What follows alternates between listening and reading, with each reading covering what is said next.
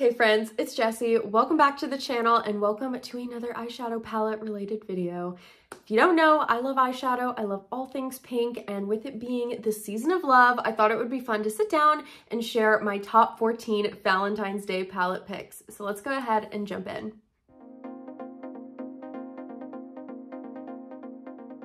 My sweater is Sailor Moon related. I only have one other pink sweater and I've already worn it in two videos recently. So I thought I'd switch it up, do a little light pink sweater. Like I said, I have 14 different palettes to talk about today. They are from all sorts of different price points and brands, and I think you guys are really going to enjoy my picks. The first palette I'm going to talk about should come at no surprise to anybody, but that is the Natasha Denona Love Palette. When I think of Valentine's Day, I think of this color story. This palette just has all those beautiful pinks and purples. I really love this palette. I feel like you can create really beautiful lovey season looks with this palette. It is gorgeous. I especially love Giving and Pure Love, these two shimmers right in the middle. Of course, the mattes are all really lovely. And you do have a variety of textures in here. You have some of the cream to powder formula, some mattes, some shimmers, all sorts of good stuff in this palette. I feel like it's very well-rounded, very versatile, and I also really like the red in here. I'm a sucker for adding a little bit of red into pink looks, and I think this palette just is the perfect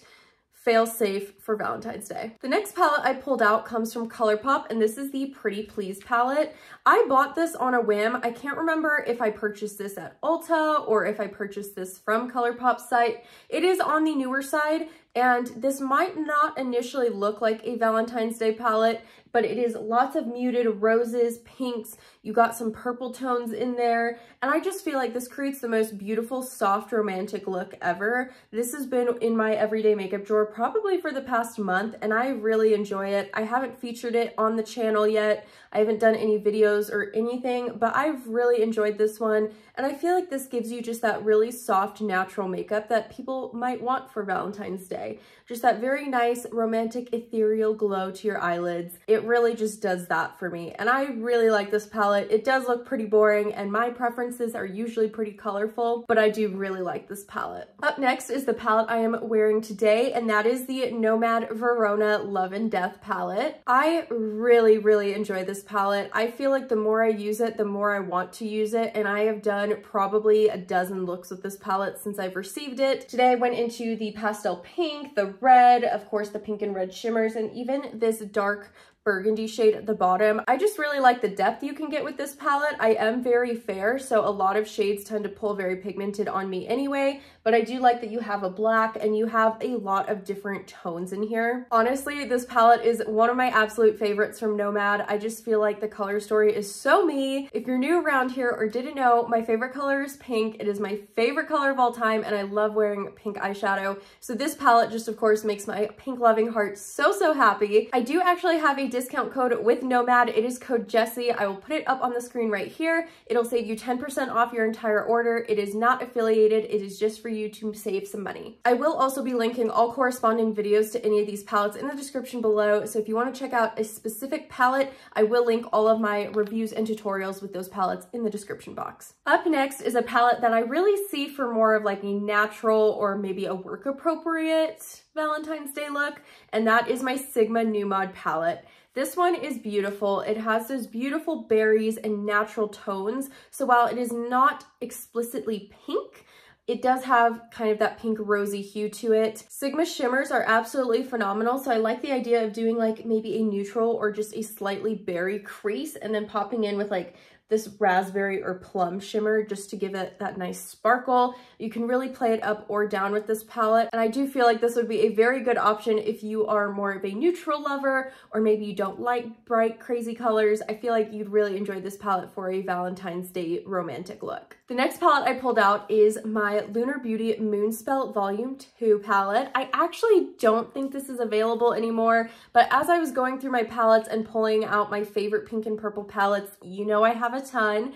This was one that caught my eye. I have pulled this palette out in my personal everyday makeup drawer and I have really enjoyed getting a lot of use out of it. I've actually enjoyed combining this with my Nomad Verona palette, especially the shade Luna, and I also really like using Agatha as an inner corner highlight. I just really like the bright, vibrant mattes you get in here. You have Willow, which is this really true bright red, Gillian, which is this nice orchid color, Hilda, you have Alex, all these beautiful, bright, true tones, and I really appreciate that. Of course, you have your black matte. You know I love a good black matte. I just feel like this is a very well-rounded palette, and I feel like if you have this palette in your collection, you would be able to create a plethora of beautiful Valentine's Day looks. This next palette I feel like is more of the vibe of Valentine's Day and the feeling of love, and that is the Pat McGrath Bridgerton Diamond of the First Water palette. I have been rewatching Bridgerton and it has just inspired me to pull out this palette and it really got me thinking about how romantic and soft these looks can be. You have two really beautiful rosy baked shades as well as three really natural shades and of course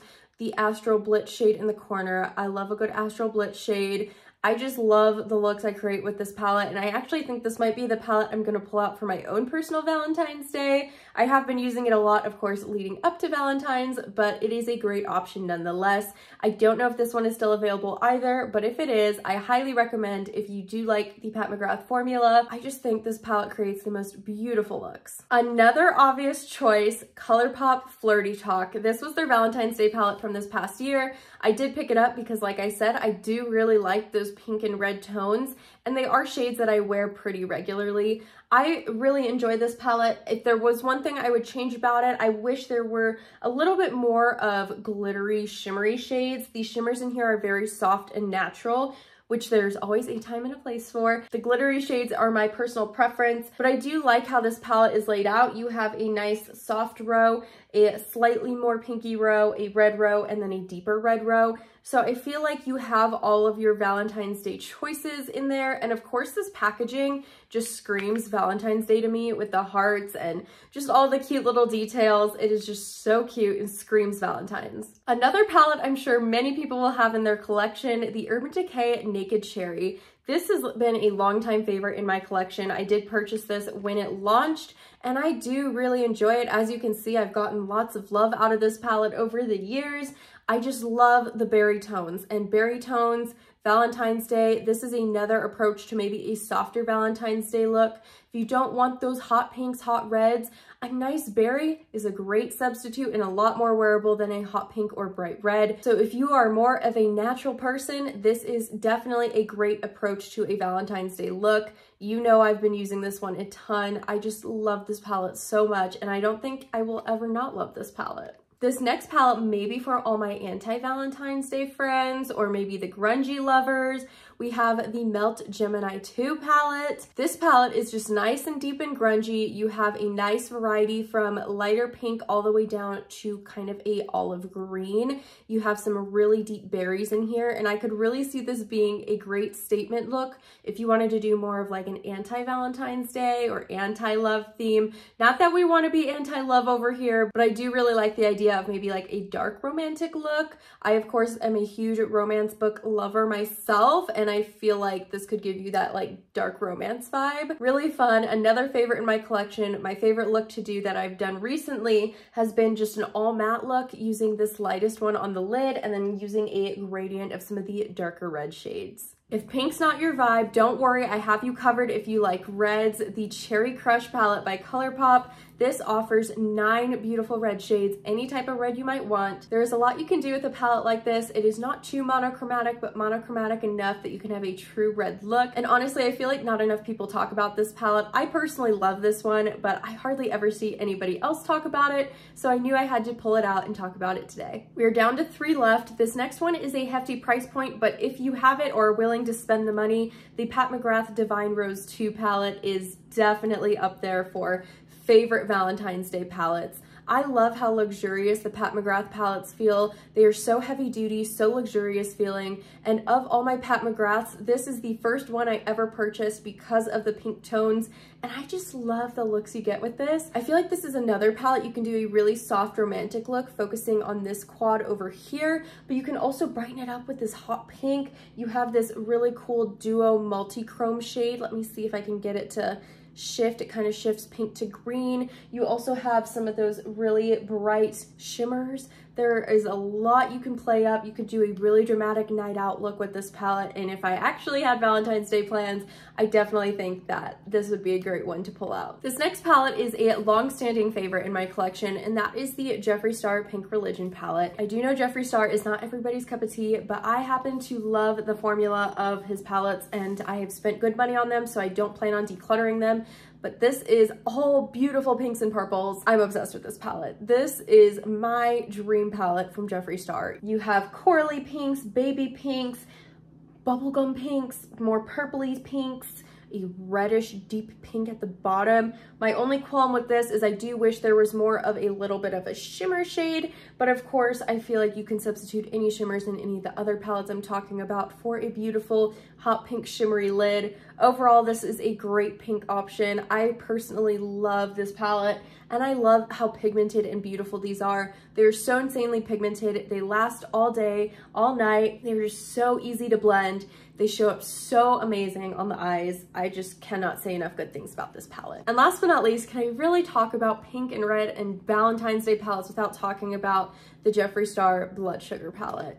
Again, I know that he's not everybody's cup of tea, but when I tell you this is one of my favorite red and pink palettes, mine is the anniversary edition Blood Sugar palette, so it is the white color, and I do prefer that to the red. It does get a little bit messier, but I do like that you can really see the colors pop, and when you look at this palette, it's actually very wearable. You have a very significant amount of neutrals. I would say the majority of this palette is neutral, and you can create very good everyday looks, but I like that you have enough of a variety with some of those red and purple tones that you can kind of play with a pop of color, or maybe do a neutral look and use maybe a deep red to deepen out the outer corner, or do a red shimmer on the lid. I feel like this gives you a ton of variety. Sorry, you're seeing my entire filming room. This gives you so much variety I feel like this is just one of my favorite palettes in my collection and definitely one I tend to reach for this time of year.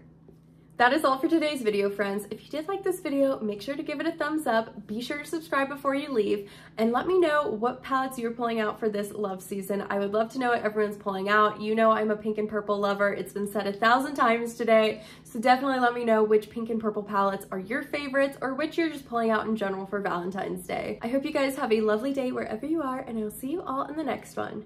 Bye, friends!